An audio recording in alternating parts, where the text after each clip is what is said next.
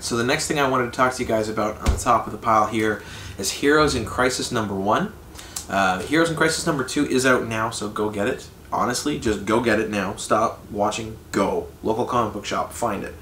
Um, it's written by Tom King, art by Clay Mann, uh, and colors done by Morey. And this is an awesome book. So I'm always typically a fan of the Crisis in the DC Universe. For those of you who don't know, a Crisis within the DC universe is always sort of a, a huge point. Every character is involved. These will have long-reaching effects in the universe. The first one I ever read was called Final Crisis, and that is, well, it resets a lot of the world. A lot of characters die, um, and it sends Batman back in time, which is how sort of, well, a lot ends up happening. It bleeds right into uh, the New 52 and everything. My favorite, though, is actually Identity Crisis, and it ties into Heroes in Crisis. So, most Crisis is Crisis on Infinite Earth, uh, Final Crisis. They're all these big events, big wars, some big bad is coming to just destroy everything, and the DC Universe, or the multiverse, needs to get together to stop it in some way. Heroes in Crisis is a much smaller scope story in that it is more personal. And it falls to that similarity of Identity Crisis, which I loved. And to this day, it's probably one of my favorite DC books. So, Identity Crisis, for those of you who don't know, is basically about uh, a rape that happens. So, uh, Dr. Light goes out and attacks. Um, what's his name? So Dr. Light, hmm, cut this part. So Dr. Light goes out and he attacks, I believe it's uh, Mr. Elastic's wife, and he rapes her, and I do so believe he murders her. And what happens is, not that some big bad comes, because he's honestly like a, a B-rated villain. He's not that big of a deal. But what that does is bring into question the morality of action and, crime fighting, especially for all these heroes. And when all these heroes have to finally decide, okay, what amount of revenge is okay? We are heroes, right? Green Arrow, hero. Mr. Elastic, he's a hero. Um, they're not villains. They can't go out and seek justice by blood. They can't go and kill people. They're not the Punisher. They're not you know, so many Marvel heroes that flippantly kill people, that's not their code. They do not kill, and that's the whole point. So when they're faced with one of their own being raped and murdered, you have to start questioning, well, is it okay now? And they all do. All the heroes. And the, my favorite part is that this book doesn't really bring in Batman, Superman, and Wonder Woman. It actually focuses on uh, Green Arrow, uh, Mr. Elastic, and a bunch of others where. Okay, hold on.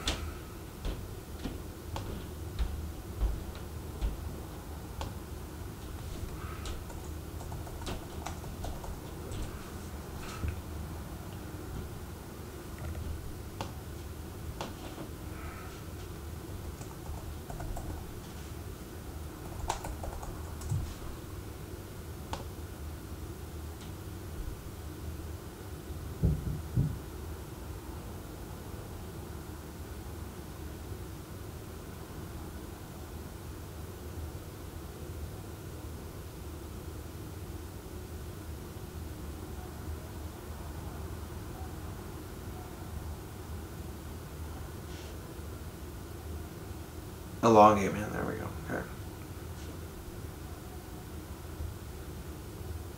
Scrap that. Um, cut over. Alright, so take two for Heroes in Crisis number one. Alright, guys. So the next issue I wanted to talk to you all about was Heroes in Crisis number one.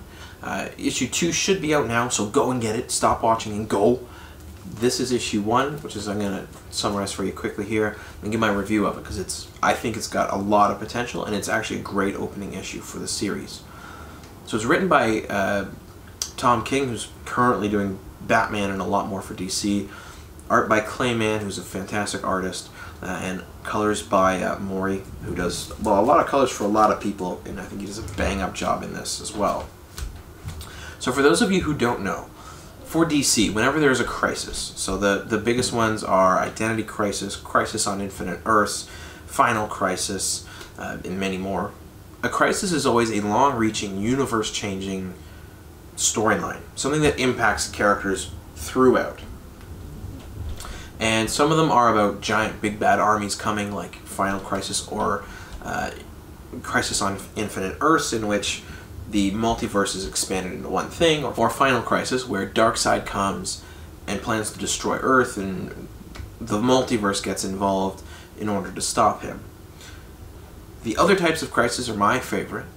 My last one is Identity Crisis, and I think Heroes in Crisis is going to be on a similar level. Because it deals more with psychology than it does brawn. So, Identity Crisis is basically about Elongate's man wife. Now she is, you know, he's off doing his thing, fighting crime, when someone breaks into their apartment and kills her.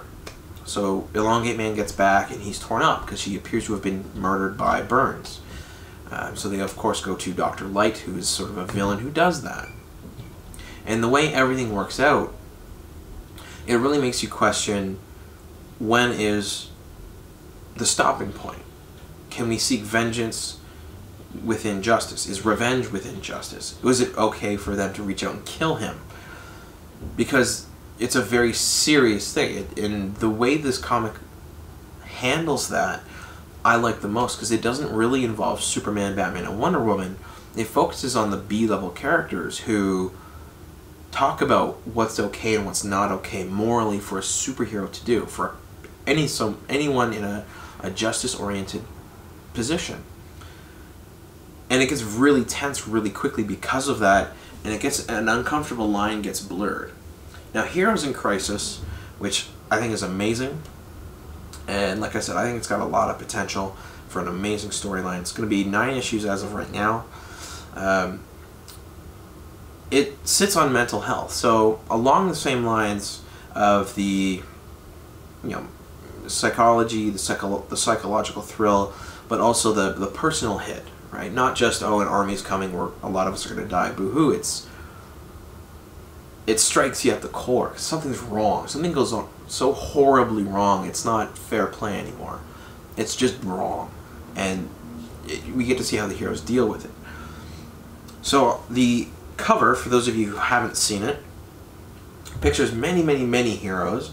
Uh, up in the front is Superman with Harley Quinn, Batman, Wonder Woman, and Booster Gold and there Superman's holding a mask and it looks like a white cloth that's been just soaked in what appears to be blood. And they're in a cornfield and way back in the back, uh, behind all of these different heroes, is a small house, like a farmhouse, almost like the Kent farm but even smaller. So what this series opens with is the investigation of a murder and Superman's blasting off to this farm while Booster Gold is sitting in a diner and just he looks like hell. He looks mopey, he's sad, and Harley Quinn walks in. And she looks just about the same. And they have it out because of what happened at this farmhouse. So when Superman arrives there, he looks out in the field and he sees that there are superheroes down and dead. And throughout the comic, we do see little interview sketches with them about why they were at the farmhouse, what's going on. And we find out that the farmhouse is basically a facility for these characters, these heroes, to get help mentally. Because, I mean, I mean, Superman might be exempt from this, maybe even Wonder Woman, because of his invulnerability, but they see a lot of stuff every day. People die every day. Maybe Superman's got the worst of it because he can hear it all, he understands it all better than anyone else. So all these heroes deal with PTSD, deal with death and loss, deal with their own personal failures because they couldn't save everyone and this place was supposed to be a safe zone for them to express that, to get that out, to work past it, so that they didn't snap and go crazy.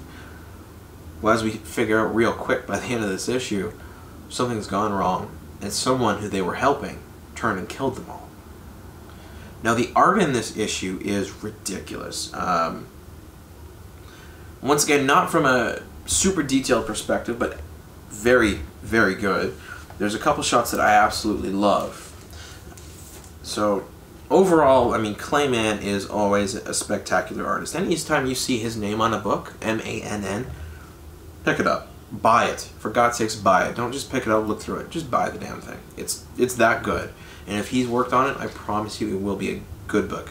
If nothing else, visually, but typically he does work with great writers. So there's a shot, as mentioned, Harley Quinn and Booster Gold fight in this issue. There's this lovely shot early in the book, and what I like most about it is the level of detail. So we can actually see sing singular muscles in Booster's arms, uh, in his leg. You can see the difference between the, the thigh muscles, um, as well as in his body. The small details of his fingers, the marks in his gloves. But beyond that, it's actually the light emanating from his fists that I got, that's gonna sound weird, but the most excited about. Because artistically, it reflects like crazy. And that's where Morey's art shows off the biggest, because he's the color. He applied all the colors for this.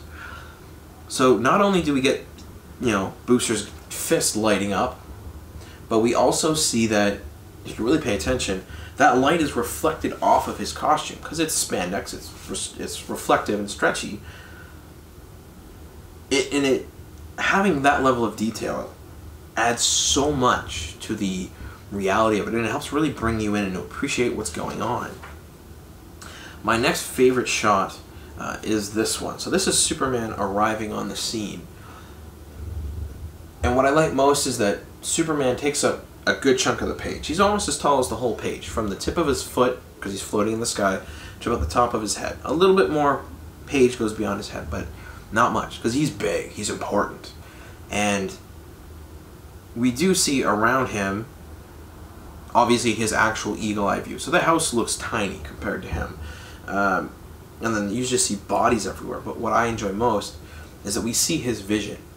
So in front of him is a zoomed in scope. It's a circular th thing that's his actual sight. And you can see that he's inspecting specific things.